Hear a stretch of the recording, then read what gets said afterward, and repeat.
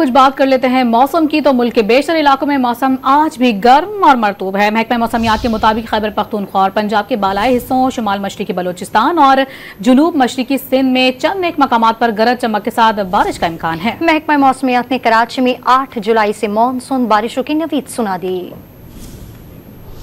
विफाकी दारकूमत इस्लामाबाद और जुड़वा शहर रावलपिंडी में गर्मी की शिद्दत में इजाफा हो गया। बारिश न होने से शहरी शदीद परेशान है। लाहौर में गर्मी और हब्स की कैफियत में इजाफा होने लगा। शहर का दर्जा हरारत सुबह के वक्त इकतीस डिग्री सेंटीग्रेड रिकॉर्ड किया गया, जो दोपहर दो बजे तक उनतालीस डिग्री सेंटीग्रेड तक पहुँच सकता है। महकमा मौसमियात ने दाता नगरी में चौबीस घंटों के दौरान मजीद बारिश की नवी सुना दी है। कसूर में मूसलाधार बारिश ऐसी नशेबी इलाके जेर आब आ गए। मरी, गलियात, रावलपिंडी जहलम और सियालकोट में भी बारिश मुतव है। बहावलपुर, लिया भक्कर डिजी खान, मुल्तान और खानेवाल में आंधी का खदशा है। पिशावर में शदीद गर्मी और हब्स का राज है। महकमा मौसमियात के मुताबिक दर्ज हरारत आज भी बयालीस डिग्री सेंटीग्रेड को छुएगा। खैबर पख्तनख्वा में सबसे ज़्यादा गर्मी बन्नू और डेरा इसमाइल खान में है, जहाँ दर्ज हरारत चवालीस डिग्री सेंटीग्रेड रिकॉर्ड किया गया है। महकमा मौसमियात ने बालाकोट, मानसहरा, एबटाबाद और बुनेर में चंद मकाम पर बारिश का इम्कान ज़ाहिर किया है। आज़ाद कश्मीर के इलाके पलंदरी में आंधी और गरज चमक के साथ बारिश से नदी नालों में तुगयानी आ गई।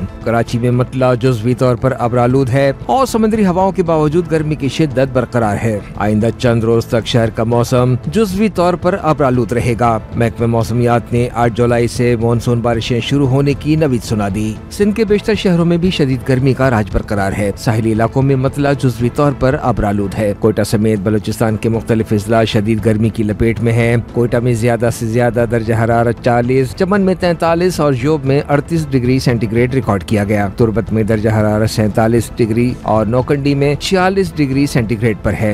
योब मुसाखेल बारखान और खुजदार में चंद मकाम पर बारिश का इम्कान है।